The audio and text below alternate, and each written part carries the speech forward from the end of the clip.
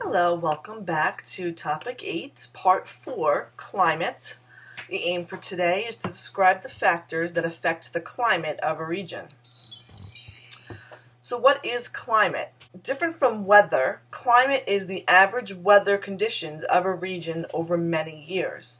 So we compare long-term weather patterns to come up with this general climate for an area.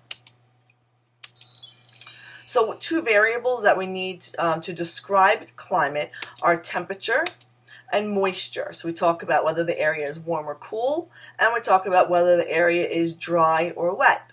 And in order to classify regions um, based on moisture, we would say that the area was either arid, which means dry, or humid, which of course means wet. And you can see with different landscapes um, in these pictures that develop based on the type of moisture in an area. So to describe moisture level of an area, we compare the precipitation level to the evapotranspiration level. So precipitation, of course, is anything that comes down moisture from a cloud that um, uh, from a cloud and lands on Earth's surface. And evapotranspiration is when moisture is put back into the atmosphere, uh, whether by evaporation or by transpiration, which of course we all recall comes from trees or plants. So if you have more precipitation. So if precipitation is greater than evapotranspiration, you have more coming down from the clouds than you have evaporating into the air, you would have a humid climate. If you have less precipitation than evapotranspiration, you have more moisture being put into the atmosphere than coming down out of the atmosphere. This would be an arid climate. So we can compare these two factors in order to, uh, to figure out what type of um, climate an area has. So this is called your climate ratio, which is P over EP, where P stands for the amount of precipitation and EP is the amount of evapotranspiration. There are eight factors we're going to discuss. We've talked about some of them before, but we'll refresh our memories. Um, eight factors that affect climate, and we're going to describe what those effects are.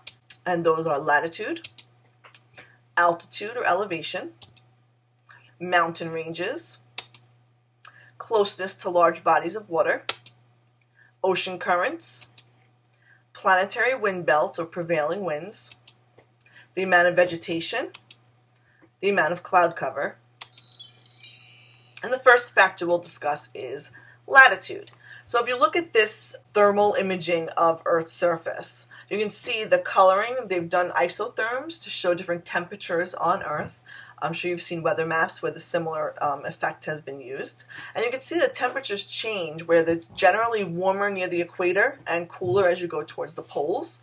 So if you talk about how latitude affects temperature in general, as latitude increases, we're going from a lower latitude near the equator towards a higher latitude, which would be towards the poles. So if it's increasing, what happens to temperature? So as you move from the equator towards the poles, what happens to our temperature? Of course, it decreases.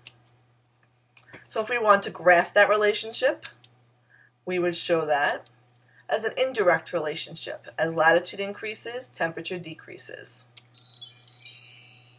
Next factor we'll talk about is elevation or altitude. So if you think about elevation as moving upwards in the atmosphere from Earth's surface, let's think about it in terms of climbing a mountain. As you climb towards the top of a very high mountain, what do you typically find at the tops of a mountain? Okay, we typically find snow at the top of the mountain. If we look on page 14 in our reference table, it also shows this on um, the uh, here in the troposphere, how if you start at the surface at sea level, it's about 15 degrees average, and if you go up towards uh, the top of the troposphere, so you're increasing in altitude, the temperature goes down to negative 55. So we live in the troposphere, and temperature, of course, decreases with elevation. As elevation increases, the average annual temperature decreases. So again, our elevation is increasing, temperature is decreasing. This gives us an indirect relationship. Mountains. So how do mountains affect a climate? This is referred to as the orographic effect. All right, and this describes what happens as um, air and moisture approaches a mountain. So orographic effect is caused when you have rising air on the windward side of the mountain. So as the windward or the wind is approaching the mountain, it has nowhere to go but up. So it's forced up the mountainside. As the air is forced upward, the air expands and cools, right? Because it gets cooler as that air goes up the mountain. Once it cools to the dew point temperature, you end up forming clouds by condensation, and this uh, then does lead to an increase in the likelihood of precipitation. So you end up with this rising, cooling air precipitating on one side of the mountain, and then it loses all of its moisture, comes over to the other side of the mountain, and is sinks downward back towards the surface. And now you have this dry air that, as it goes back down towards Earth's surface, is going to get warmer since the temperature increases from up in the atmosphere down towards the surface. And this is called the leeward side of the mountain, the side that's not on the windward side the sinking air compresses and gets warmer, and you end up with very little rain occurring on that side of the mountain. So the rain shadow effect. Many deserts are located on the leeward side of the mountain, and this is considered the rain shadow, meaning they're opposite the side where the rain is occurring. So again, some examples of the orographic effect. Here's New York State, and up here we have the, um, if you recall from our landscapes, we've got the Adirondack Mountains over here, and we've got the Catskills over here, and you can see there's different, uh, there's varying amounts of precipitation. Um, based on where the wind is coming from and going towards, um, based on these mountain ranges. The leeward sides of Adirondacks and Catskills receive much less precipitation. So how does the orographic effect affect climate?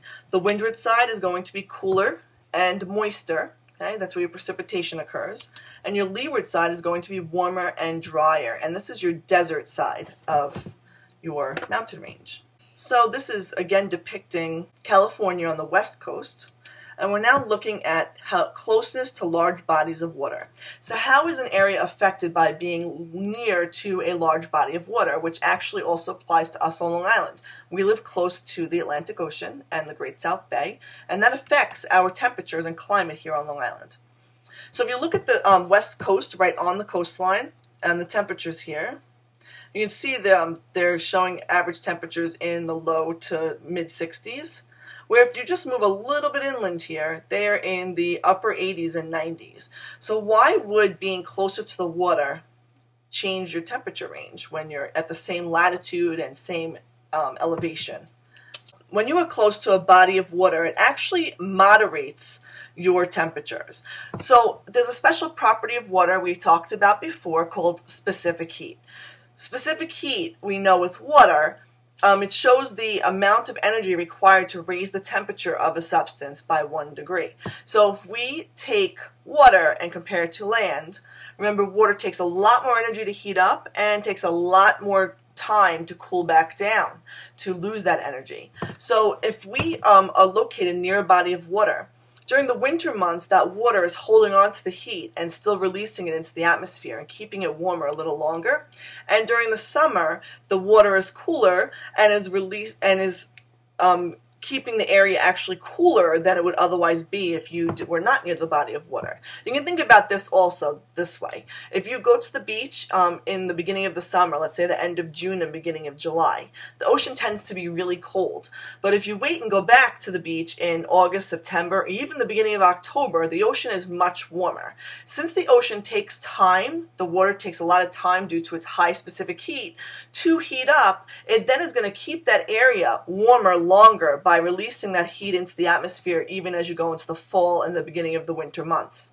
Now, on the flip side of that, it, it also um, will take time to cool back down. So, um, and, and then again, heat back up. So when you get into um, to when it would actually be the coldest. It's not coldest right in December. It's probably hitting its coldest temperatures in January or February due to that lag in time for it to cool down or heat up.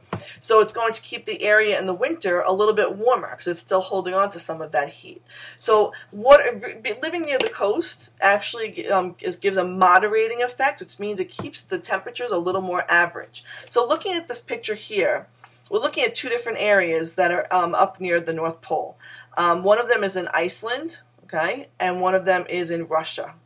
And you can see we're looking at this climograph that's showing the average temperatures um, for Iceland and the average temperatures over the course of the year for Russia. And you will you'll notice there's a big difference between these two graphs. You can see that this here in Iceland is a much flatter range of temperatures, where here in Russia, it's a much larger range of temperatures. Okay, this climate graph shows a much bigger change.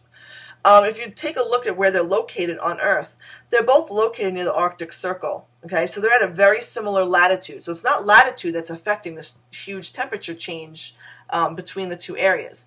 What's affecting it is that um, Iceland, this uh, Reykjavik, Iceland, is much closer to water, where Yakutsk, Russia, is in the middle of the land. So the water near Iceland is keeping the temperatures here much more average. Okay, so it's not allowing there to be a huge extreme of warms and colds um, over the course of the year. And if you look here at Russia, it's inland, and you end up with a much wider change, um, and much more extreme warms and extreme colds uh, than you do if you're close to the water. Again, just like on Long Island, we have a similar effect where we don't get nearly as hot as more inland might get, and we also don't get nearly as cold as more inland would get. All right, so how does closeness to a large body of water affect climate? If you live near the coast, you're considered to be in a marine climate. Water moderates the temperature. That means it keeps it medium. Okay, it keeps it in moderation, which is very average. This leads to us having cooler summers and warmer winters than we would be if we were more inland and not in a coastal climate. So looking at these two cities, City A and City B, we can tell which one of these is most likely near a body of water. Okay, so remember, the, the, the more average your temperatures, the flatter this curve is, that is most likely being moderated by a body of water. So City B in this example is near a body of water, and City A is more inland. So if you have a continental climate, meaning you're more inland, you end up with warmer summers and cooler winters. So you get more extremes for your climate than you do if you're near the coast. Ocean currents. Remember, we have cool and warm currents. We're looking here at the Gulf Stream, which is bringing warm water up the coast, um, the east coast of North America. So if you live near a warm current, this is going to generally warm up the climate. And if you live near a cool current, it's going to generally cool down the climate. Wind belts. Okay, depending on the, um, where your wind or your air is coming from as it moves air masses along. Your wind is going to move different air masses across to um, your country. And if the prevailing winds will blow air in generally the same direction over the course of the year. So this determines whether you are generally getting colder air, warmer air, drier air, or wetter air. So that will be a big determination what kind of climate region you live in. The amount of vegetation that an area has.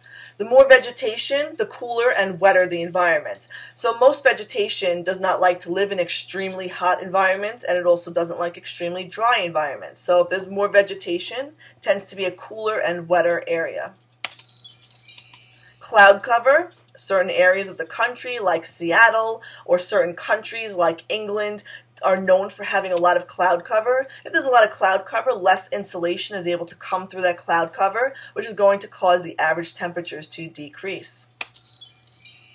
Okay, we have two uh, weather events we'll also discuss now. The first one's called a monsoon.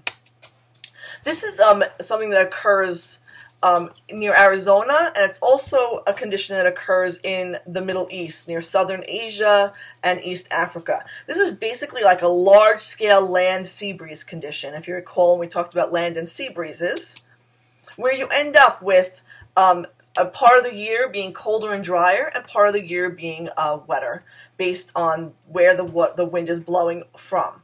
So in the winter, you end up with a land breeze where cold, dry air is causing high pressure over the land, so the wind comes off the land and out to sea. And during the summer, you end up with a sea breeze condition where you have low pressure over the land and high pressure over the water, which brings the air breeze off of the water, causing it to be much rainier since it's carrying all that moisture with it. So this is a diagram showing um, summer monsoon winds over um, near the Middle East, where you have the summer acts as a sea breeze with the um, air coming off the water towards the land, and in the winter it acts as a land breeze, a large scale over a long, a wide area where the wind is coming off of the land. So you end up with dry winters and rainy summers. El Nino also has been in the news on and off in the last 10 to 15 years.